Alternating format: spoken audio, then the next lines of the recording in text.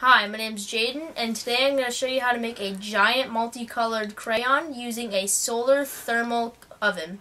For this experiment, we're going to be using aluminum foil, saran wrap, black paper or fabric, a ruler or a skewer, whichever one you have works, scissors, wax crayons, cookie cutter, and don't forget your rubber gloves or any kind of gloves and your box. So our first step is to measure one and a half inches with your ruler and cut three sides out of your box. This box already has it done for me, so I don't have to do that step. And the next step you're going to have to do is line the inside of the box with aluminum foil.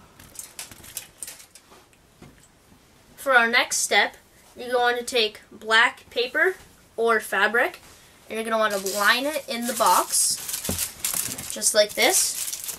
Then you're going to want to take your cookie cutter, place it in the box, then take your wax crayons, and you should peel the paper off them, then crush them into small pieces, and put them inside of the cookie cutter. Now we're going to close the lid. So since I didn't have to cut this part off the box, I made my own homemade reflector, reflects the sun off the aluminum foil into the box. So unless you have a box like mine, now you're going to want to place your plastic wrap over the box securely. But since I don't, since I have this, I don't have to do that.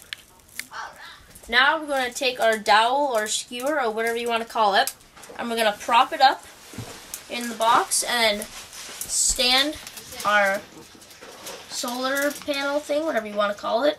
Prop that up. And there we go.